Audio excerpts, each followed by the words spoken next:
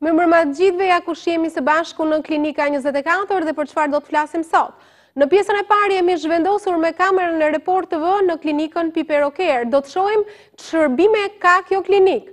Ndërsa në pjesën e dytë, doktoreshë Migena Kika, neuropediatre, do të flasë më shumë për çrregullimin ADHD.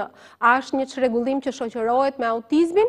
Për më tej do ndjekim doktoreshën. Për të gjitha këto, si fillim, sigla.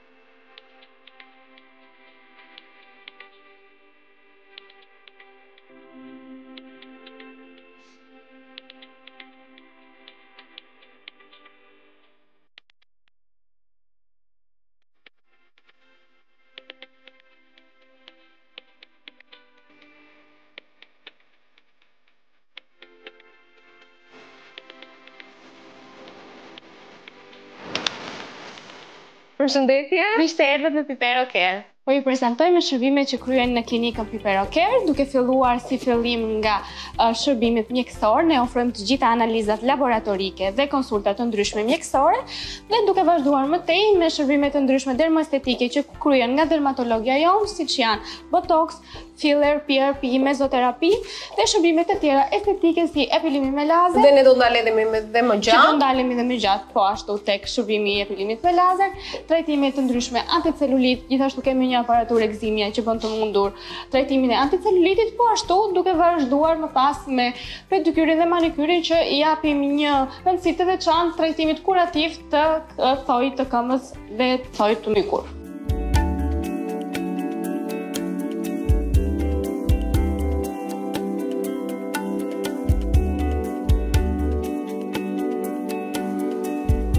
Siç edhe e patë me kamerën e Report TV, ne jemi zhvendosur nga studiot e Klinika 24, jemi në ambientet e Pipero Care, unë jam Aristea dhe praktikisht Në këtë dhomë kryhet lazeri. Megjithëse për epilimin me lazer është folur shumë, prapë ka nevojë për informacion, sepse qarkullojnë edhe mite.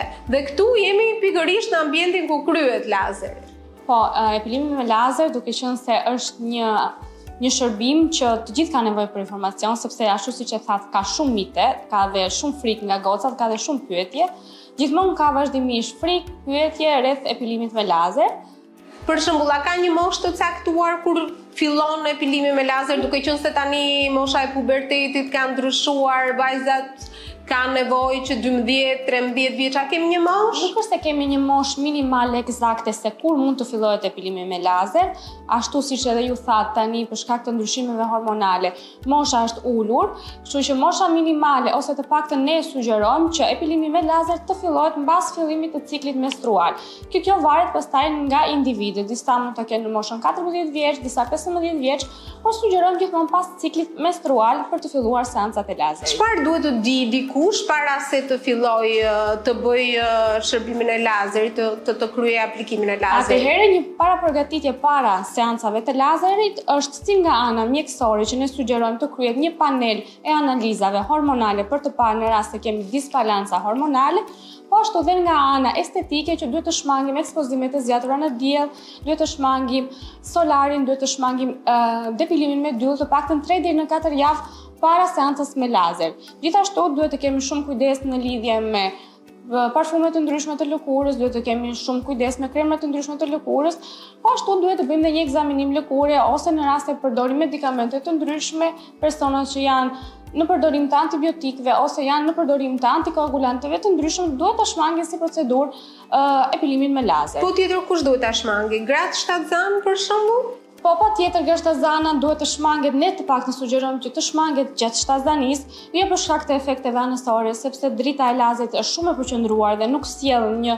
dëmtim të fetusit, por sepse gjatë shtatzanisë kemi shumë disbalanca hormonale, gjë që ne nuk e sugjerojmë të kryhet gjatë shtatzanisë. Po ashtu lazeri është edhe për një klasë tjetër që nuk sugjerohet janë për personat me probleme të lëkurës, që mund të jetë vitiligo, mund të jetë psoriasis, ose ekzema të ndryshme që në këto zona nuk lejohet të aplikohet shërbimi me lazer. A ka dhimbje kur aplikohet lazeri, a ka skuqje, çfarë çfarë a ka efekte në teknologjia që ne përdorim, laser është një teknologji që ka të implementuar sistemin e ftohjes, gjë që e bën të mundur minimizimin e diskomfortit gjatë seancës dhe për shkak të sistemit të ftohjes nuk është se ndjejmë një pickim që mund të jetë bezdisës për për klientët. Kështu që dhimbjet janë relativisht shumë të ulta në zonat që janë pak më sensitive, pickimi mund të jetë pak më i fortë, por që është një procedurë shumë komode dhe është një procedurë shumë e shpejtë. Kështu që nuk do keni dhimbje gjatë seancave. Sa me sa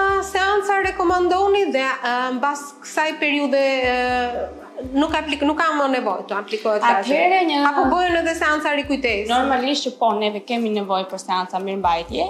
Uh, një mesatare për të pasur një rezultat definitiv varion nga personat dhe nga faktorë të ndryshëm biologjik, si mund të jetë disbalanca hormonale, tipologjia e qimes, po ashtu dhe fototipi i lëkurës. Aparatura që neve kemi, ka parametra të ndryshëm për secilin lloj tipologjie të qimes, po ashtu dhe për secilin lloj, lloj fototipi lëkure, kështu që neve një mesatare që ofrojmë është 5 deri 8 seanca, gjithashtu numri i seancave varet dhe nga zona ku aplikohet, zona e aksilës ose zona intime ka nevojë për më pak seanca, ndërkohë që zona e krahëve ose zona e kofshve mund të kenë nevojë për më tepër seanca.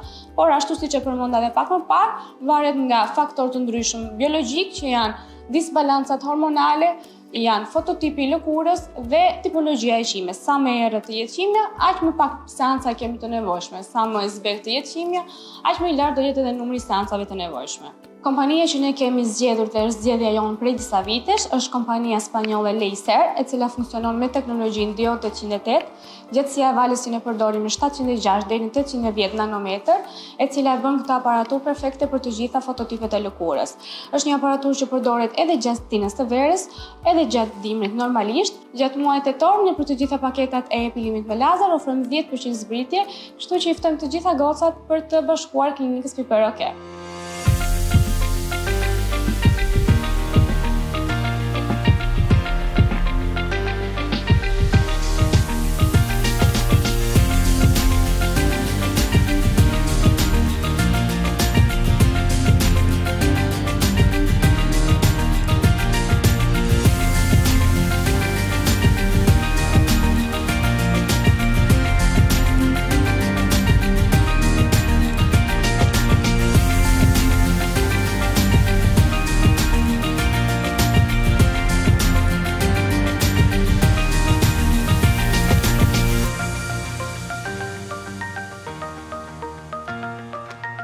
Smile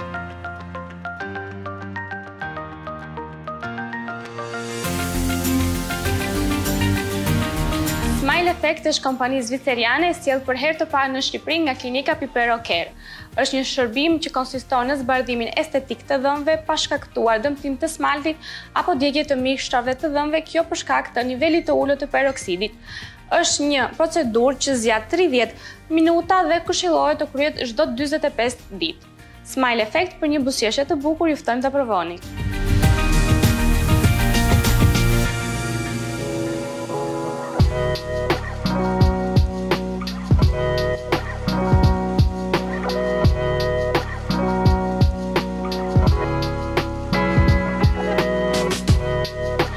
Ky është një nga ambientet që ne kryejmë shërbimin e manikyr pedikyrit.